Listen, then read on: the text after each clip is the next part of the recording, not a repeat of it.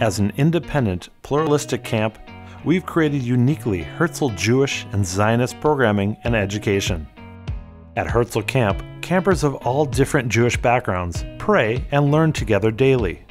Through regular experiential programming, we build campers' connections to Judaism, the Jewish community, and Israel.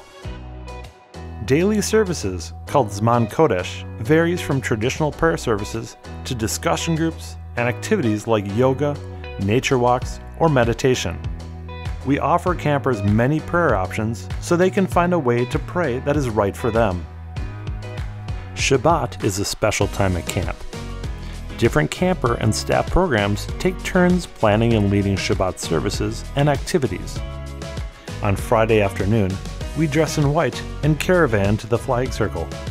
We sing flag songs, lower the flags, and head to Friday night services overlooking the lake, followed by a delicious Shabbat dinner and song session. We begin Saturday with an optional later wake up and services. The rest of our day is more restful. Campers enjoy a relaxed schedule with time to visit with friends and get to try different activities than they experience the rest of the week. Finally, Shabbat is closed with a Havdalah service. Our Israel education program is based on experiential activities. Campers from Sderot join us each summer. About a quarter of our staff comes from Israel, and we partner with programs like JNF and the iCenter for fun and engaging programming.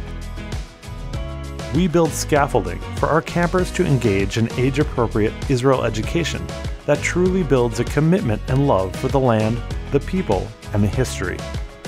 We make our educational curriculum fun and experiential so that campers want to learn and grow in their Judaism and connection to Israel.